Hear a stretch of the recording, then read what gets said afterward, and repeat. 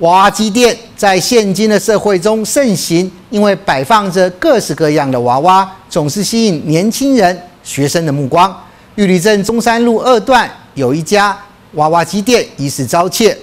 店家在观看远端监视器后，发现其中一台机台疑似遭人手持砖头砸碎玻璃，于是向警方报案。派出所立刻来到了现场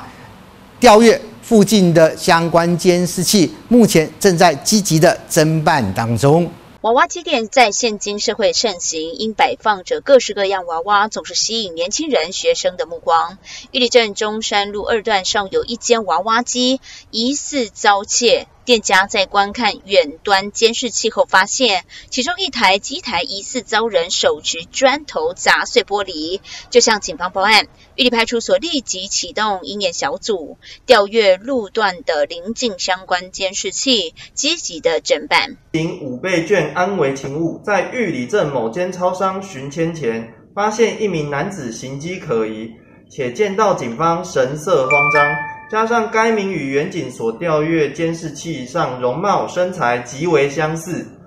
远景立即上前盘查身份。盘查过程中查获陈明所窃取的赃物，全案询问后依涉嫌窃盗、持有赃物罪，移送花莲地方检察署侦办。